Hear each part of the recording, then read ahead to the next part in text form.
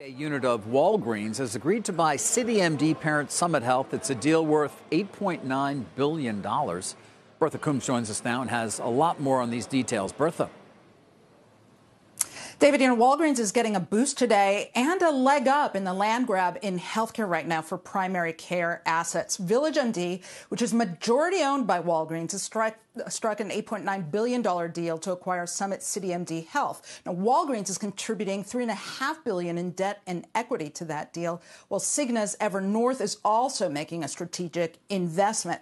Now, Summit CityMD operates about 150 urgent care locations in the greater New York, New Jersey area. It also owns standalone physician practices, which is one of those things that everyone is in the market for right now. The combined company with VillageMD will have nearly 700 provider locations in 26 markets. For Walgreens, the deal provides more doctors as it leverages its 53% stake in VillageMD to expand its primary care offerings and adds urgent care part of CEO Roz Brewer's strategy to diversify the pharmacy giant. She has said that she is focused on investment in the healthcare unit right now.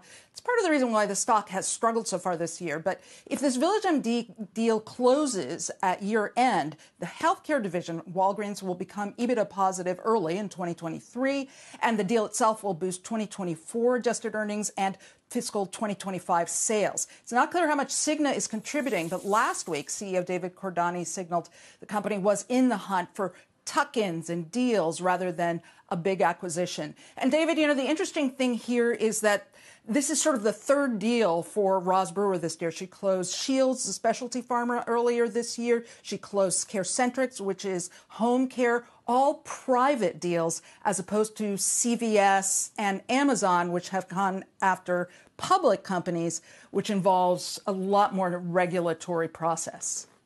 Right. Um, although there is a regulatory review for these deals as well. But it does speak to the increasing competition, Bertha. You know, I wonder, though, CVS obviously has Aetna. There is a presence here of a health insurer. You just mentioned Cigna, but does, are, there, are there any mm-hmm. thoughts that Walgreens may want to even go more towards the CVS model?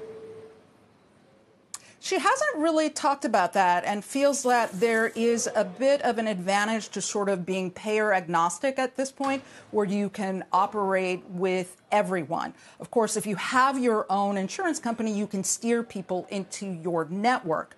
But at this point, the strategy is to have those assets that everyone can use and you don't sort of, you know, lock out your frenemies. Bertha, thank you.